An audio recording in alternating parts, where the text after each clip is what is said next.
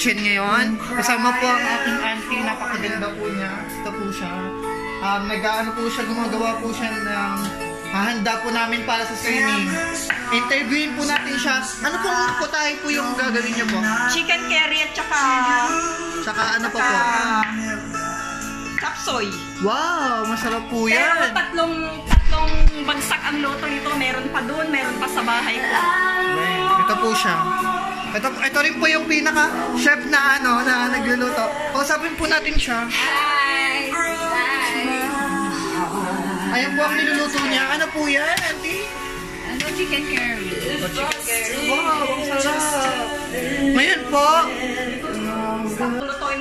mga burgers, uh, Corondas Burger House, eh, igado at adobo. Meron pa sa bahay, Wow. yung mga burgers pa sa bahay. say hello po. Hi guys! I'm the cookers. Ayan po ang niluluto nila. and the two monkeys. Lulutuin namin ay pansit at saka Shanghai. Wow. Say hello guys. Ayan. Ayan po yung nakikita niyo po. Niluluto po sila ngayon. Busy po sila. Yun.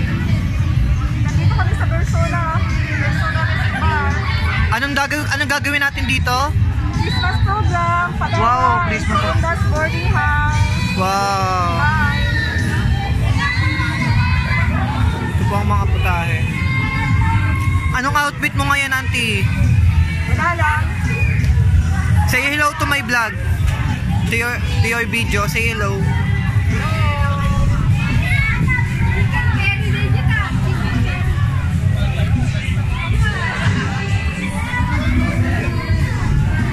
Hello.